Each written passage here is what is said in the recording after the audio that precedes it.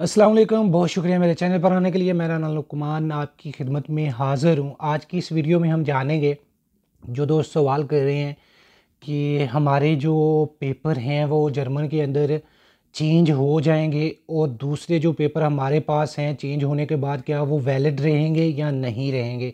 तो ये बहुत सारे सवाल लोगों के जहन में होते हैं। तो उसके बारे में आज हम बात करेंगे। एक दोस्त जो माल्टा के अंदर है वो कह रहा था कि मैं अगर जाता हूँ जो ये जो पेपर हैं माल्टा के मुझे मिले हैं, ये मैं जर्मन के अंदर चेंज करवाता हूँ। जो जॉब है वो डिलीवरी की मैं करना चाहता हूँ वहाँ पर, या कोई भी जॉब लगा ले तो वो वहाँ पर चेंज होने के बाद ये पेपर वैलिड रहेंगे या नहीं रहेंगे? देखें, मैं आप लोगों को पिछली सारी वीडियोस में बता चुका हूँ कि किस तरह से आपने पेपर चेंज करवाने हैं और क्या आपको वहाँ पर मसला पेश आएगा और कौन से, कौन सी जॉब आपने करनी है तो आपके पेपर चेंज होंगे। तो इस बारे में मैं बात नहीं करूँगा। अगर जिसने वो वीडियो नहीं देखी, वो वीडियो देख लें। आज हम बात करेंगे कि आप लोगों के जहन में जो बात आती है कि यार ये वैलिड पेपर रहेंगे या नहीं रहेंगे। जब हमें काता सजोर मिल जाती है इटली के अंदर उसे इनलिमितातो या लुंगो पीरिदो जो सजोर मिलती है जिसे हम काता सजोर कहते हैं यूई की वो पूरे यूरोप के अंदर वैलिड होती है। कुछ कंट्रीज़ हैं जो चेंज नहीं करती लेकिन ज़्यादातर चेंज करती है। जर्मन फ्रांस या फिर या, या ऐसी कंट्री जो होती है जिनमें हम जाना चाहते हैं वो चेंज कर देते हैं। तो ये पहले इनली मिता तो इसके ऊपर डेट नहीं होती थी। बाद में हुकूमत तब्दील हुई, उन्होंने डेट डालना शुरू कर दी। क्योंकि इनली मितातो जो होती है, वो डेट एक्सपायर नहीं होती तो लोग जो हैं, वो अपनी तस्वीर चेंज नहीं करवाते, अपना खुद शो नहीं करवाते, कोई चीज़ शो नहीं करवाते। तो इसलिए हुकूमत ने उसकी जो डेट है, वो रख दी, यानी कि 10 साल वैलिड रहेगी। तो वो भी चीज़ वही है, लेकिन जो इनलिमिता तो थी वो, कोई मसला लोगों को ये पेश नहीं आता था कि वो किसी भी कंट्री में जाकर अगर चेंज करवाते हैं तो वो अगर टाइम लगता है उनको सेटल होने में और तब तक आपकी डेट जो है वो एक्सपायर अगर डेट होगी उसके ऊपर तो तब तक अगर एक्सपायर डेट हो जाएगी तो फिर वो आप वापस जब आएँगे तो आपको मसला होगा। लेकिन अगर आपके पास इनलिमिता तो होती है तो वो आपका मसला आप सेटल होने में दस साल भी लगा लें, पाँच साल लगा लें, जितने भी मिसाल के तौर पर।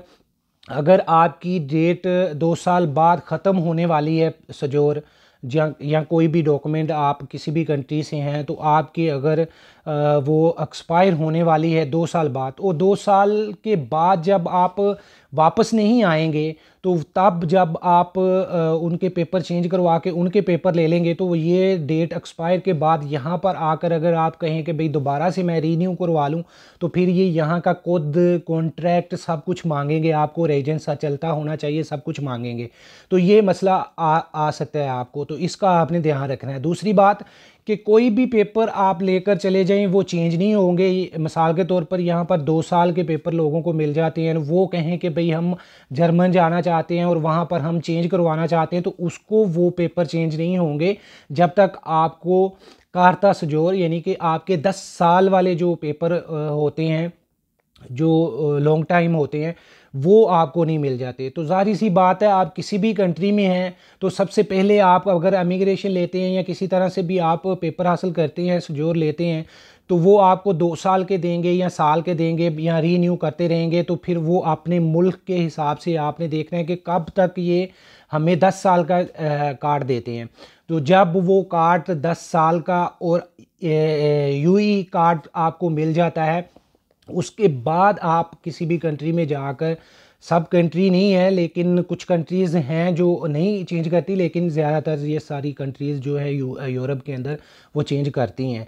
तो आपने सिर्फ़ सिंपल ये ध्यान रखना है कि आपकी अगर 10 साल डेट है एक्सपायर होने की तो वो आपको जब मिल जाती है तो आपने अगर पक्का पक्का मूव होना है तो फिर तो टेंशन नहीं है। लेकिन अगर आप चाहते हैं कि मैं भाई जाकर सेटल होकर देखूँगा, अगर हो जाए तो ठीक, वरना मैं वापस आ जाऊँगा। जिस तरह मैंने किया, मैंने जाकर प्रोवा किया, अगर सेट हुआ तो ठीक, नहीं तो मुझे कुछ अच्छा नहीं लगा कि वे, वो कारता के बदले कारता नहीं देते। वहाँ पर पढ़ना पड़ता है, वहाँ पर स्कूल सर्टिफिकेट करने पड़ते हैं, फिर जाकर वो कारता देते हैं, दस साल का वीज़ा देते हैं, उसके बाद वो नेशनैलिटी के लिए भी सारा कुछ करना पड़ता है, यानी कि एक और स्कूल फॉर्म हासिल करना होता है तो फिर बाद में जाकर आपको वो नेशनैलिटी आप अप्लाई कर सकते हैं। जबकि इटली के अंदर अगर आपके पास कार्ता आपको मिल जाती है तो फिर वह बाद में आपको स्कूल का सर्टिफिकेट नहीं चाहिए होता, इसके ऊपर ही आप नेशनैलिटी का भी दुमादा कर सकते हैं। तो ये सूरत हाल है। आप लोगों ने ये चीज़ ज़रूर देखनी है कि डेट एक्सपायर होने के बाद अगर आप वहाँ पर जाते हैं अगर जाते हैं तो डेट एक्सपायर हो जाती है आपके पेपर, जहाँ से भी आप जा रहे हैं, जिस मुल्क के आपके पास पेपर हैं, वो एक्सपायर हो जाते हैं और आप वापस नहीं आते उससे पहले पहले। तो फिर आपके ये डॉक्यूमेंट जो हैं वो मसला बना लेंगे। बहुत सारे लोगों के साथ ऐसा हुआ भी है कि उनको कातस जो मिली, उसके बाद उन्होंने तस्वीर चेंज नहीं करवाई और जब उन्होंने तस्वीर चेंज करवाने के लिए जमा करवाई। उनके पास कॉन्ट्रैक्ट नहीं था। कॉन्ट्रैक्ट नहीं था तो फिर उन्होंने वो वापस नहीं की थी। तो इस तरह से वो हाथ धो बैठे थे, काता से भी ना ही उनको दो साल की फिर मिली। तो आपने ये कोशिश करनी है कि जब आपने जाना है तो आपने साल एक दो के ही अंदर आपने डिसाइड करना है कि आपने वापस जाना है या यहाँ पर रहना है। जब आपको वो पेपर चेंज कर देंगे, वहाँ के मिल जाएँगे। उसके बाद पाँच साल के बाद आपको दस साल के पेपर मिल जाते हैं तो वो फिर ये पेपर रिजेक्ट हो जाएँगे। उससे पहले आपके ये पेपर रिजेक्ट नहीं होंगे कैंसिल नहीं होंगे, जब तक आपको वहाँ की कारता नहीं मिल जाती, यहीं के वहाँ के दस साल का वीज़ा नहीं मिल जाता, जो आपने स्कूल का सर्टिफिकेट करके हासिल करना है, जिस तरह आपने इस कंट्री में, यानी कि इटली में आपने किया है। जब तक वो नहीं मिल जाते, आपके पास ये भी सुजोर रहती है, ये आपसे नहीं लेते। वो अपने पेपर दो साल के दे देते हैं, उसके बाद ये भी पेपर आपके पास रहते हैं। दो साल के बाद अगर आपको लगता है या तीन साल के बाद जब उनकी रिक्वायरमेंट पूरी हो जाती है कि भाई अब आप आप कारता ले सकते हैं यानी कि आप फॉर एवर पेपर ले सकते हैं स्कूल का सर्टिफिकेट भी आपने कर लिया वहाँ के आपने पेपर ले लिए फॉर एवर तो यहाँ के आपके पेपर जो हैं वो फिर आ, आपको छोड़ने पड़ेंगे ये आपसे वो वापस ले लेंगे तो फिर वही पेपर आपके चलेंगे। तब तक जब तक आपने जो दस साल का वीज़ा जो है वो आपको नहीं दे देते। दो साल का देते रहते हैं, देते रहते हैं, जब तक ये डेट एक्सपायर नहीं होती, तब तक आपने डिसाइड कर लेना है। क्योंकि अब जो है वो दस साल का ही दे रहे हैं इनली मेहता तो नहीं दे रहे।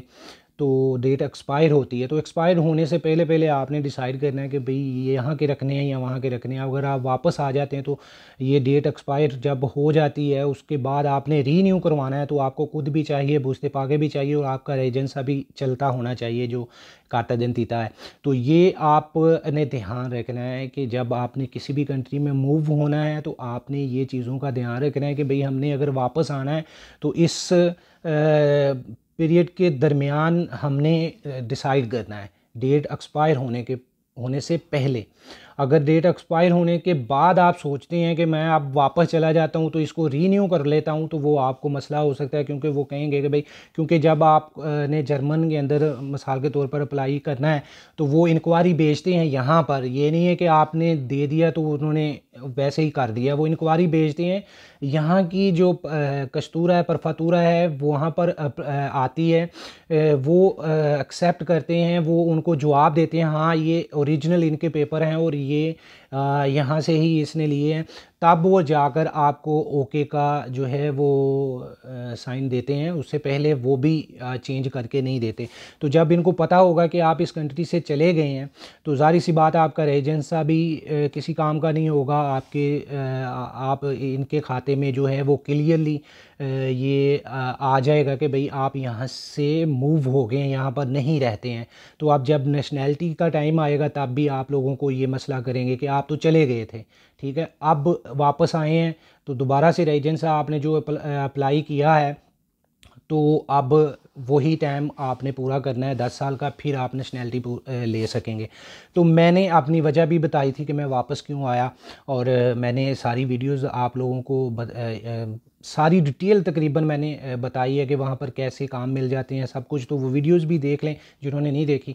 तो ये जो सवाल थे ये भी आपके क्लियर हो गए। आप किसी भी कंट्री से जा रहे हैं तो आपने ये जब डेट एक्सपायर हो जाएगी, उसके बाद ये आपको मसला करेंगे। उससे पहले आपको कोई परेशानी नहीं होगी, आप वापस आकर इन्हीं पेपरों के ऊपर काम कर सकते हैं। तो ये मैं आपको दिखा देता हूँ, जो कार्ता सजोर है, वो ये होती है। अनलिमिता तो यहाँ पर लिखा हुआ है अनलिमिता तो लिखा होता है। तो इसके ऊपर डेट एक्सपायर नहीं है डेट इशू ज़रूर डाल दी जाती है और इसके बाद डेट एक्सपायर नहीं डाली जाती। तो अब जो सजोरें बन रही हैं, वो डेट एक्सपायर है। दस साल के बाद वो आपको एक्सपायर कर देगी डेट तो आपको फिर से वो रीन्यू करवानी पड़ेगी। ठीक है? मिलते हैं नेक्स्ट वीडियो में, तब तक के लिए अपना बहुत ख्याल रखिएगा। चैनल को सब्सक्राइब नहीं किया तो सब्सक्राइब कर लें। वीडियो को लाइक नहीं किया तो लाइक कर लें। मिलते हैं नेक्स्ट वीडियो में, तब तक के लिए अपना बहुत ख्याल रखिएगा। पाकिस्तान, जिंदाबाद।